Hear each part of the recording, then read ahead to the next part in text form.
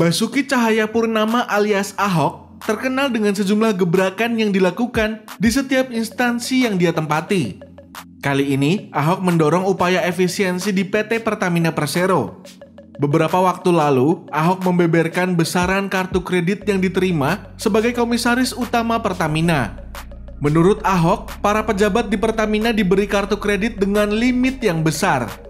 Bahkan untuk jabatan dirinya sebagai komisaris utama mendapatkan limit hingga 30 miliar rupiah. Selain itu, Ahok mengatakan para dewan direksi tidak transparan terkait penggunaan kartu kredit. Hal ini yang membuat Ahok mencabut semua kartu kredit milik petinggi perusahaan plat merah itu. Dalam RUPS kemarin, sudah disampaikan tentang peniadaan fasilitas kartu kredit bagi Dewan Direksi, Dewan Komisaris, sampai manajer, senior vice president, dan lain-lain yang selama ini ada fasilitas tersebut, ujar Basuki Cahayapurnama, Komisaris Utama PT Pertamina. Sebagai gantinya, tagihan atas kebutuhan-kebutuhan yang dikeluarkan oleh petinggi perseroan, seperti untuk jamuan tamu, harus langsung diajukan kepada perusahaan. Selain itu, pemesanan tiket penerbangan, hotel, dan akomodasi maupun transportasi lainnya juga mesti dilakukan atas nama perusahaan.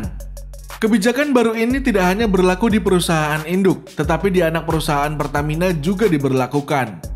Kebijakan Ahok ini juga dikomentari oleh DPR RI. Menurut Wakil Ketua Komisi 7 DPR Edi Suparno, langkah Ahok hanya sebuah kosmetik.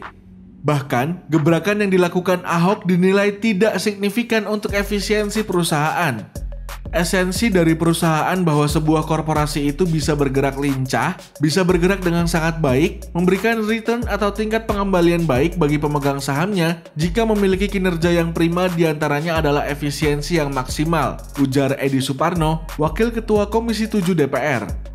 Diketahui, tujuan awal kartu kredit korporasi ini diberikan untuk memenuhi kebutuhan perusahaan. Namun, untuk nama pemilik kartu kredit masih menggunakan nama pribadi dan tidak terkontrol.